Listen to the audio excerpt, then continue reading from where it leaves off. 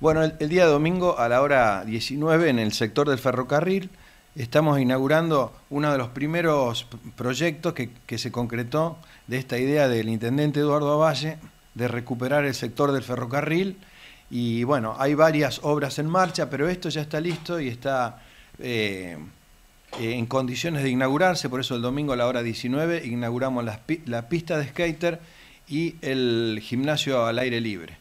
Y antes de hablar en detalle, permitíme agradecer en primer lugar a Nancy Bota, que fue el encargado de llevar la obra a cabo y que ha quedado realmente muy bien. Él y su gente han hecho un trabajo magnífico. Eh, al arquitecto Wenceslao Re, que es el que, bueno, nos, llevó a cabo la obra. A Luisa Nino, que es un skater de Marco Juárez, que fue un poco el de la idea y el que nos dio los detalles de cómo llevar a cabo esta obra.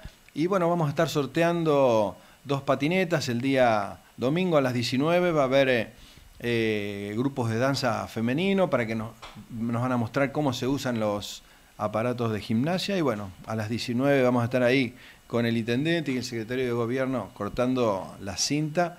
Eh, y, van a, y vamos a tener la visita de unos skaters profesionales de Córdoba que van a hacer una demostración de cómo se usa realmente esa pista. ¿La pista qué dimensiones tiene? ¿Cuáles son las medidas?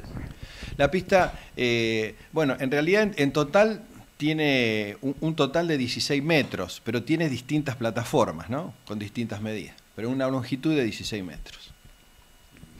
Eh, ¿Pueden circular un par de skates juntos o de a uno tienen que ir? Y bueno, y el domingo le vamos a, preguntar a los profesionales que nos digan exactamente eh, cuáles son las formas de utilizarlo y sobre todo tener en cuenta la seguridad ¿no? del lugar porque es un deporte eh, que se patina sobre cemento y la caída debe doler bastante. Así que ahí vamos a hablar con los especialistas el domingo ahí en vivo.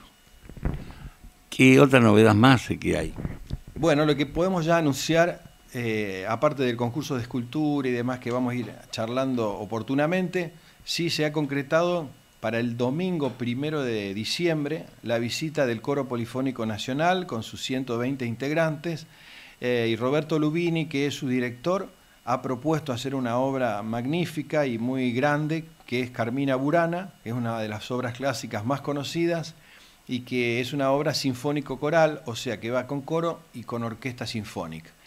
Y lo importante de esto es que la orquesta sinfónica se va a armar con músicos de la región, de Marco Juárez, músicos de la banda, músicos del conservatorio y otros músicos de la región y el director Roberto Lubini va a venir 10 días antes a armar la orquesta, o sea que los chicos van a tener esta experiencia de ser dirigido por uno de los mejores directores de Sudamérica y armar una obra sinfónica coral que, bueno, para nosotros con músicos locales sería imposible. Así que creo que va a ser una experiencia muy importante. ¿Y el coro quiénes lo van a hacer?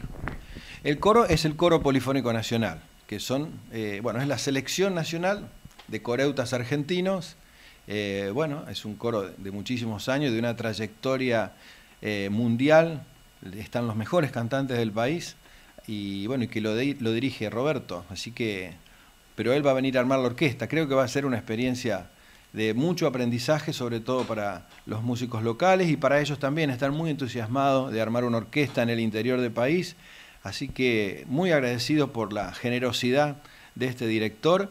Y bueno, aprovecho este medio para invitar aquellos músicos que pertenecen a alguna banda o alguna orquesta que puedan leer una partitura de obra clásica que van a estar invitados a participar.